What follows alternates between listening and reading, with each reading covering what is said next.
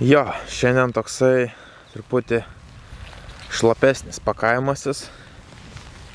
Na, bet bus dar ne vienas kartas toksai. Ne, šiaip daug kas įsivaizduoja, kad jeigu lyja, tai ir palapinį išlapia. tik tais ne mano. Pas manęs viskas sausa, tik tais, nu, išorė šlapia. Iš dalies viskas sausai pavyko susipakuoti. Ką reikia viską grūsti baidarį ir varom. Jeigu orų prognozijas nesikeis, tai šiandien iki pat nakties lis. Tai visa tokia dienelė ir nusimato. O rytoj jau saulutė pleškins. Rytoj visi džiūsim.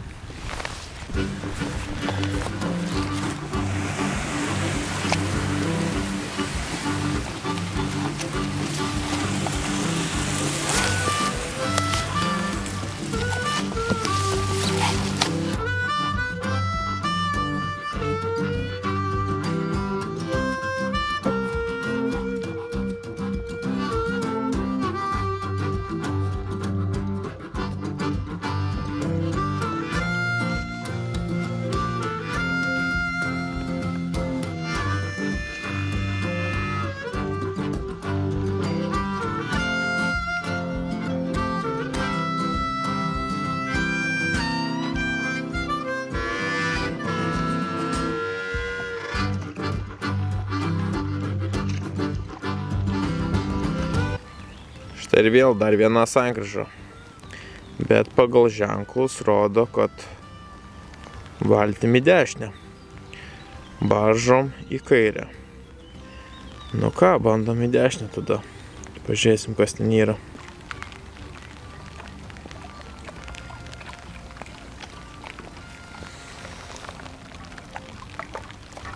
Nu, kol kas jokių ženklų nematau. Varom toliau. Nu, va, kaip ir priplaukiau, bet dabar čia nais neaišku, yra ženklų. Čia žuvitakis, ne žuvitakis. E, nusiųsiu, kas moka vokiškai. Šiaip būtų visai fainai, čia nais nusileisti, aš po Google Mapsus pasižiūrėjau, tai tenais toks tai nusileidimas.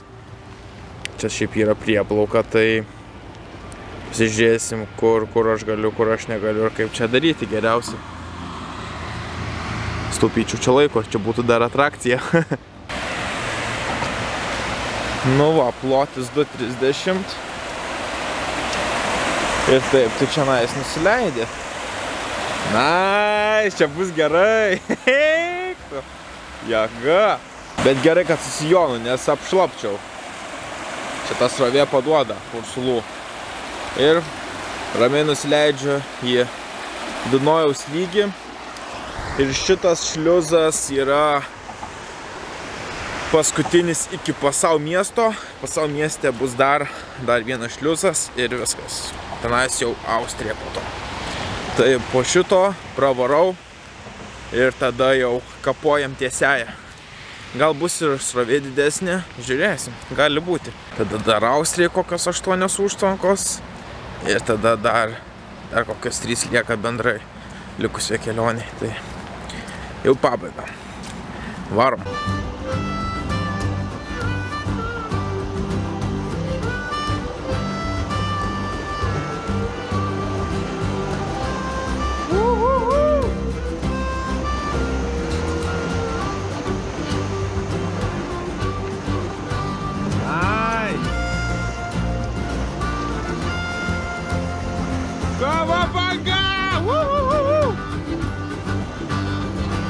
Greičio, greičio.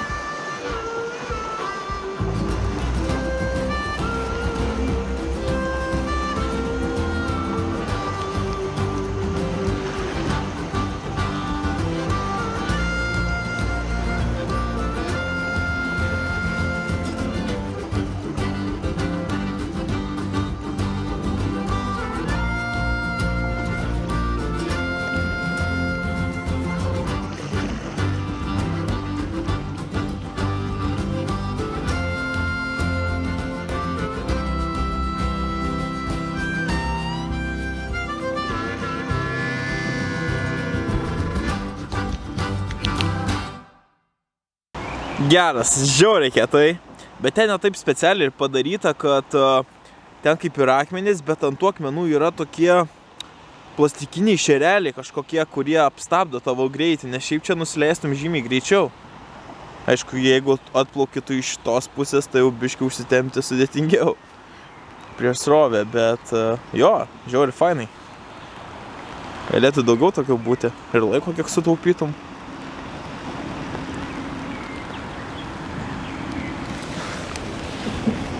Na, o dabar iki pasau. Šiandien nepasieksiu, klausimas ar rytoj pasieksiu. Na tai, kaip bus, tai bus.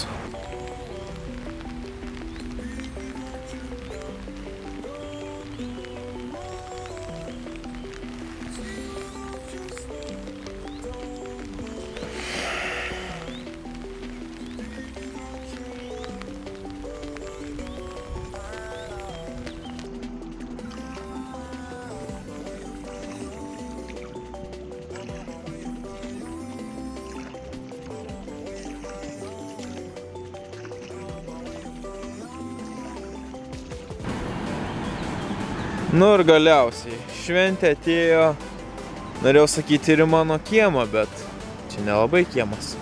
Ir į mano vandenis. Stoja lyti. Stoja lyti. Iškepdžiūsiu. Ir po to vėl pradės turbūt lyti. Ir srovė atsirado. Srovė atsirado, tai iškart smagiau irkluot, greičiau irkluojasi. Gal prasilenkiam, varom toliau. Brigados padavė. Taigi. Čia va tau va, simboliškai O, tas nuo nuo, nuo moco, dėkui. Ir vilkas. Dėkui, dėkui. Tai jūs link Lietuvos jau traukėt? Jo. Dabar į Čekiją varom, į Prahą. Daug po namų. Nu, bet jau link namų į tą pusę. Jau link namų. Jo, mes jau antrą savaitę keliavom irgi. Kiek jūs susukot? Jau kokie bus, jau Penki 5 beveik. tūkstančiai beveik bus. Neblogai. Čia per dvi savaitės, ne? O tai iš- išplaukėm. Šiandien. Šiandien lauk šiandien ketvirtadienis, tai 10 diena gal. Jo. 10 dienų. Čia neįdavo, taip buvom davarę. Jo, čia aš taip srovė atsirado, tai pradėjau greičiau judėti, nes ten buvo, būtų mieste, tai būtumėt kažkur prisiparkavę. Dabar čia... buvom iš pradžių išlindę prie tos bažnyčios. bažnyčios, bet kai žiūrim, kada, kad po tu va dar toli labai. Ai, bliau, čia būčiau penkias minutės, būčiau prie tos bažnyčios. Ir kad ten labai šitą. Ten krantas tas- labai lyvas. Jo, čia krantai, tai dabar čia rakteliai. O, lem. Nu, va, Įdomu, kurio. būtų baigusis į kelionę. Čia būna, va, čia va, ten va, Tavo? pasanuoti tavo, su šitais ratelės. O tai kur tavo? Tai ne, va, motina. Čia ant lauko numetėt mocus? Va, čia va, už Kijevo aš Va, tavo. A, Galima eit, va, padėsi ir tu. o padės. Kiek mačiau, Signai tavo čia buvo užrašytas vardas. Kaip? Ne, mačiau. Signas buvo va, parašyta kaip ir, kaip ir jo vardas. Ai. Ir pavardė Ir va, šitą pavardė dar stambu, bet dabar... Bet žinok, nepamenu, ką būna jie- tokių, kad ir vardas, ir Va, pavardė labai sutampa. Tai man ir sen. Ignas M. Ignas M. nu gal? Dabar taip neatseksiu. Greitai. Nes aš prinskrynus pasidarau, žinai. A, irgi čia jau čia gerai pila, mum irgi pila. Jo. Ne, man tai čia para... Ne, palauk. Tai vakar va pradėjo lyti. Vakar pradėjo lyti, bet visiškai, visiškai šlapiai. Batas įplyšo viskas. A, Visiškai šlapiai. Net lietaus aprangas, viskas keura. keura, ne? Tai va, pralyja viską vis tiek. Ne, tai žinai, dar ant greičio. Bet tai pradėjo laukti italus lyg gal. Arba ar jau buvo maus italus? Italijai. Ne, ai ne, buvom prie to ežero, tada pradėjo lyti. Tai Italija, Italija pradėjo lyti. Nu. Rudesnis už Aš labiau, man atrodo, padegęs. Tu rudesnis. Panašus. Padegė, bet blema, čia žinai, kas atraukia labai nuo kelio dabar. Na, nuo purvo, jo, purvas biškai. Tai čia kai... Va, Koksai čia gal? Padegė, padegė, bet nuplauna lytus labai. Jo, jo, jo, jo. Ai, jo, čia tau dar yra ką išplaukti. Yra, yra. Kaip šiaip patinka. Jo, viskas čiki. Gerai. Dabar va praplaukiau tą užtvanką, tai iki pusau miesto, tai nieko nebus. Mhm. Turėtų būti srovė dabar geresnė. Pusau ir viskas, po to Austrija. Ir kalnai. Jo, tikiuosi. Norim, gal mes Mes jau kalnų jau atsikandom tiek, kad... Nu, ne, nu kaip tiek, ten realiai 3 paros, bet aukštyn žemyn, aukštyn tais pasais. Jo.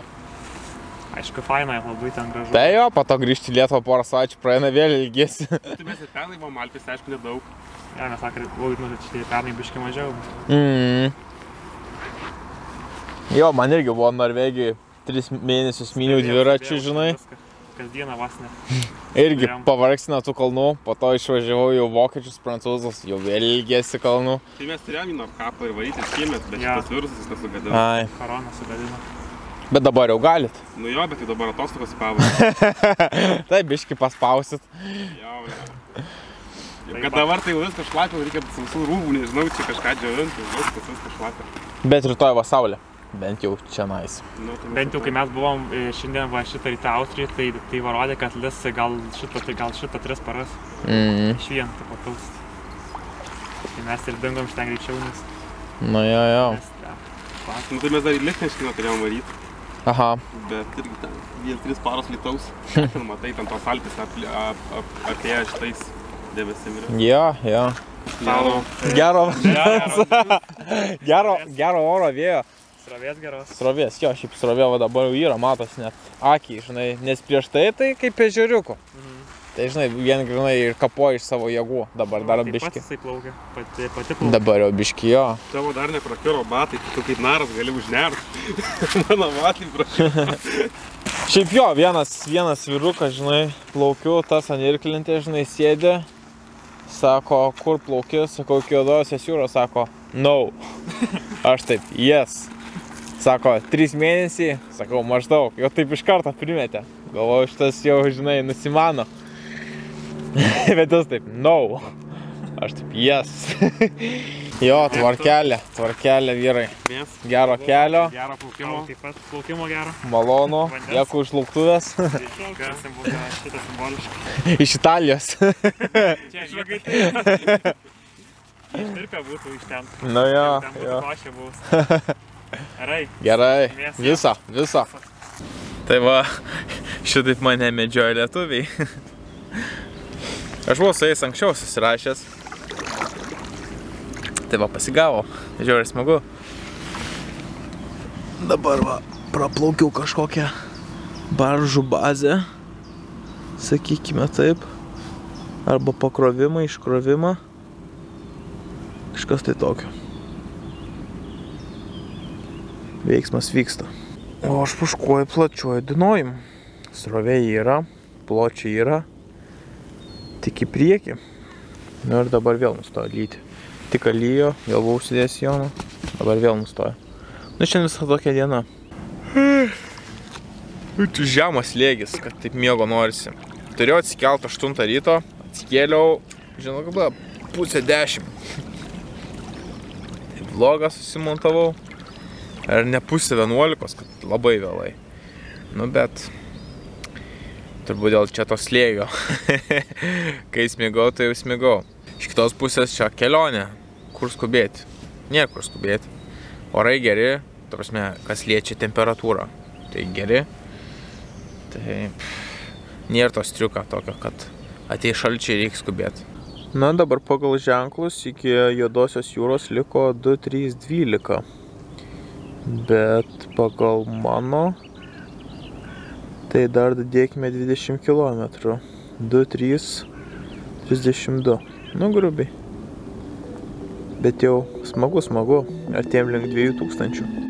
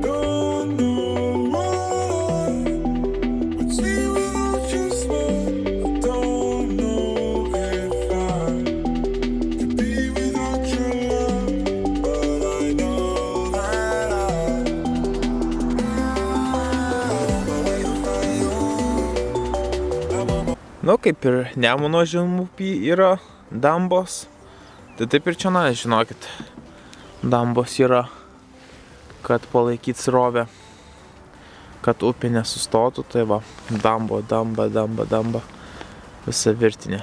Tik čia nais jūs tokios akmeninės, Lietuvoje ten Nemune, daugiau smėlis, žvyras. Ir dar vienas vienuolynas, turbūt ir čia nais saulų gamina. Gal čia bažnyčia, nežinau, nelabai atskiriu. Na, bet dangus saulutės nelabai nori parodyti.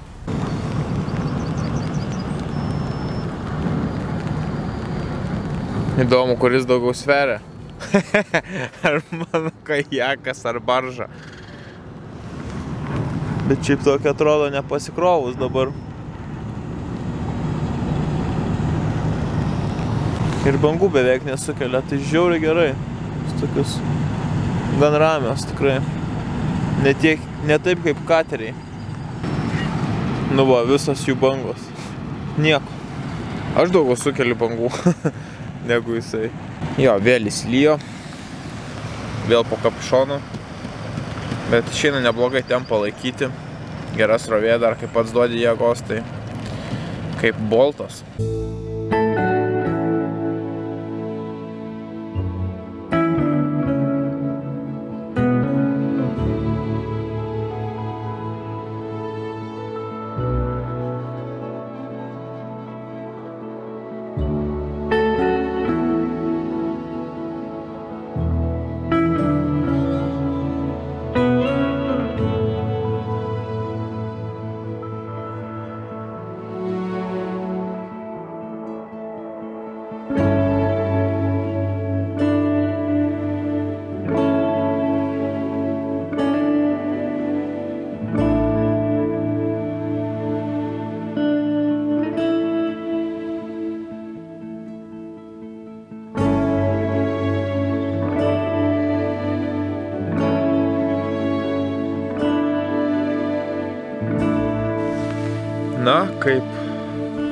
kaip su lietum iškeliavau, taip su lietum ir sustojau. Jo, tai vėl susiradau tokį laukelį, už jo kelias. Šiandien nurklavau 38 km, tai turint omeny, kad aš pradėjau šiandien pusę dviejų turbūt tik irkluotai, o sustojau 9 val. vakaro, tai geri skaičiai. 38 km tikrai neblogai. Lyginant su tiek, kiek turiu padaryti dar per dieną, tai tikrai neblogai. Jo, bet iš kitos pusės dar galiu džiaugtis tuo, kol, kol 9, pusė 10, va- dabar pusė 10, pusė 10 vakaro šviesu, kol silpnas lietus, kol šilta, tai va ir su šortais gali ir panašiai. Bet ateityje reikės ir anksčiau stoti. Plus neplanuoju su tamsa ir kluoti, tamsoje ir kluoti. Tai visą laiką stengsiuosi jau su, su saulėlyčiu stoti. Ką, apsistojau, susipakavau, iš dalies pusvalandį užtrunka.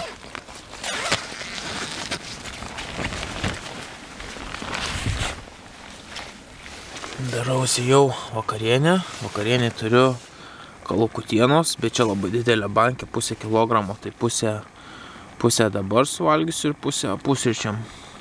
Reikia valgyti, jinai dar nuo Kauno. jo, tai nors ir iš, iširklavau su, su lietum, šlapiai, palapinė vėl šlapiai pasistačiau, bet e, visiems planuojantiems turistauti, tai pasakysiu, kad tai nėra taip jau baisu, kaip gali atrodyti. Šlapia palapinė tai jinai yra tik iš išorės šlapia. Vidus e, sausas, saliginai. Svarbiausia turėti sausą miegmaišį, ir sausą kilimėlį. Tai jeigu tu juos turi, tai tu sausai ir išmiegosi. Nes palapinė neleidžia, tai nėra dėl ko baimintis. Va, geriau yra miegmaišį su kilimėliu laikyti tokiose vietose, kad nu nesušloptų. Turėti kažkokį hermetinį maišą ar dar kažką. Nesausas miegas, žinokit, yra viskas. O rūbai ir ta turistinė įranga, tai yra miegmaišis, kilimėlis, nu ir palapinė, bet palapinė gali sušlapti, jeigu blogiausia atveju labai būna šlapia viduj, man taip kartais būdavo Skandinavijos kelionė, kad tiesiog pasistatai ir žiūri dar balos likusios nuo praeitos dienos. Nuo nakties tai, nu, pasiemi kokią maikę mažiau naudojimą, apsišluosti, apsišluosti ir viskas. Tai čia tokios, tokie niuansai, bet va rūbų sausus turėti ir mėgmaišį tai yra svarbiausias dalykas. Na ir žinoma, visą elektroniką, nesinorėtų, kad būtų keurainai. Na bet už va kokių poro savaičių jau stojinėsiu 8, pusę 8, dar už porą savaičių stojinėsiu 7 val. gal net pusę 7. Žodžiu, tas mano vakarėjimas ankstės, bet tuo pačiu turėsiu ir anksčiau keltis. Tai dabar dar kol kas sauliaidžiu va iki 12 pabimbinėt palapiniai. Nu va, sušilo beveik. Neblogai. Gerai. Kalkutiena.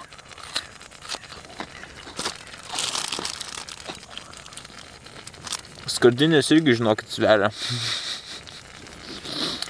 Tai reikia viską išėlės valgyti. Todėl ir valgau makaronai su duona, to prasme.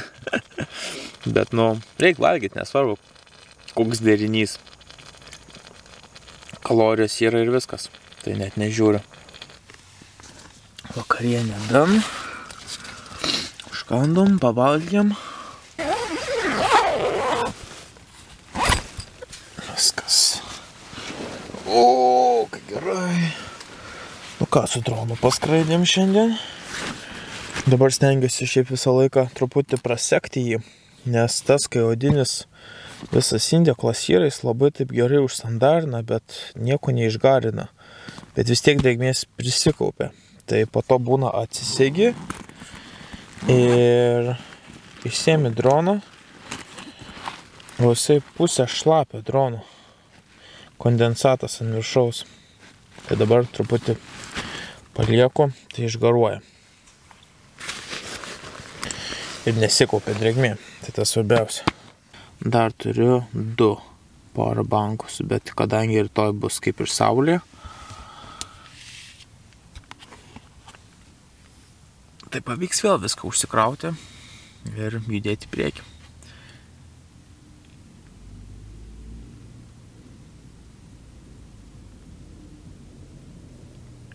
Kažkas atvažiuoja.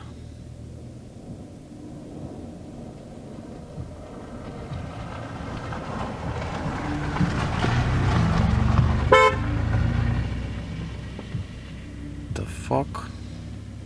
A, čia iš prie kelio pasistatęs, bet...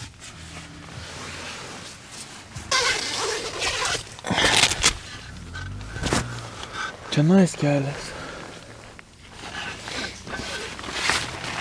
Čia gal žvėjai, nes čia nais daug žvėjų šiaip. Viskas, jaunimas nuvažiavo, ten buvo hebrytė su golfeliu.